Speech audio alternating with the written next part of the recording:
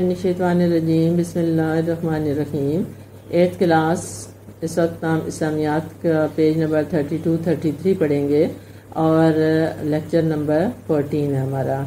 हमारा टॉपिक है अदल एहसान। अदल एहसान का पहला हम पढ़ चुके हैं, जिसमें हमने अदल का भी मफहूम देखा और एहसान का भी। ठीक है? आज हम मज़ीद कुछ इसके बारे में, अदल और एहसान के बारे में आयात पढ़ेंगे। और देखेंगे कि अल्लाह ताला हमें अदल और एहसान करने का हुक्म दे रहा है। तो इसके बारे में नबी पाक सल्लल्लाहु अलैहि वसल्लम का उस वाक़ था। अदल और एहसान के बारे में अल्लाह ताला का इरशाद है इन अल्लाह यामरु बिल अदली वाल एहसानी व ईताई जिल कुर्बा, कि बेशक अल्लाह ताला तुम्हें अदल और एहसान का हुक्म देता है, व ईताई जिल कुर्बा और ये कि रिश्तेदारों का हक अदा करो। अब अदर, यहाँ से, इस आयत से हमें ये पता चलता है कि अदर ये भी है कि हकदार को उसका हक दिया जाए और नेकी करने वाले को नेकी के बराबर उसके साथ नेकी की जाए और बदी के, जो बदी करने वाला है, उसे बदी के बराबर सजा दी जाए। नबी पाक सल्लल्लाहु अलैहि वसल्लम का इसके बारे में हम तरीक़ाकार देखते हैं, उनका उसवा देखते हैं।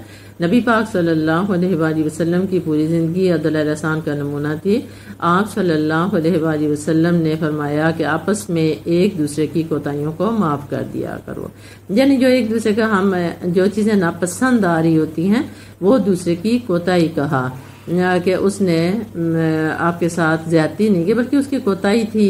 और बेहतर है कि उसे आप माफ़ कर दें। तो आपने हमेशा ही अपने दुश्मनों के लिए भलाई की दुआ मांगी। आपने ताइफ वालों का मामला याद करें। जब ताइफ वालों ने आपके साथ ज्यादती की थी, ताइफ वालों ने आपके साथ जुल्म किया था, बच्चों को आपके पीछे लगा दिया था तो नबी पाक सल्लल्लाहु अलैहि वसल्लम ने उनके लिए भलाई की दुआ मांगी थी। इसी तरह से कई और कबीले थे जिन्होंने आपको मानने से इनकार कर दिया, आपकी बात मानने से इनकार कर दिया तो आपने भी उनके लिए भी दुआएँ की। इसके बाद अदल और एहसान की मुख्तलिफ़ सूरतें क्या हैं? अदल एहसान की बेहतरीन शक्ल यह है कि उसने सलूक से काम लिया जाए। उसने सलूक, बेहतरीन सलूक, एहसान का मतलब है यही। और इसी तरह से आपके साथ कोई ज्यादती करे तो आप उसे माफ़ कर दें। आप के साथ कोई भलाई करे तो आप उसके साथ उसे ज़्यादा भलाई करें। किसी ने आपके साथ कुछ भी नहीं किया कोई लेकिन उसे ज़रूरत पड़ गई है तो आप उसके साथ नेकी करें।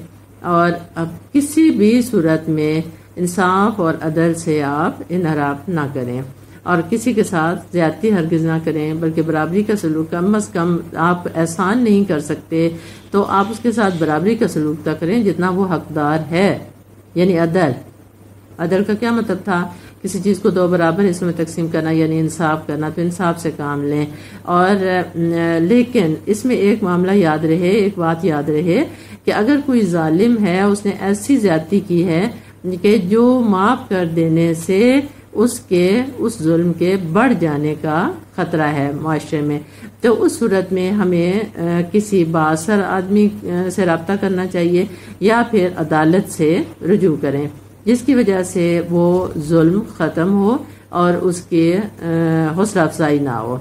इससे हमें अदल और एहसान का जो हमने मुख्तफ सूरतें पढ़ी, इससे हमें क्या पता चलता है कि हमें भी हमारे लिए इसमें हुक्म यह है और हमारे लिए व्रत यह है कि अदल एहसान को हम अपनी ज़िंदगी में इख्तियार करें। क्योंकि माशरे की अमन और तरक्की का दार मदार अदल और एहसान पर है। बदले लेने में नहीं, बदले लेने से बातें बढ़ती हैं, बल्कि माफ़ करने से ये कम होती हैं। तो यह हमारा टॉपिक यहाँ पे ख़त्म हो रहा है। इन हम अगले टॉपिक में अगले लेक्चर में हम इसकी एक्सरसाइज भी करेंगे और अगले टॉपिक को डिस्कस भी करेंगे।